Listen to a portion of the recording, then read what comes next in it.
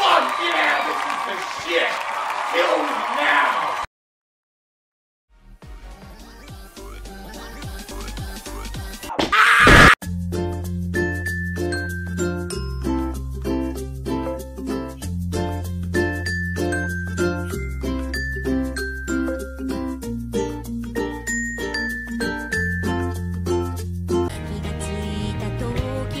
Sorry, I'm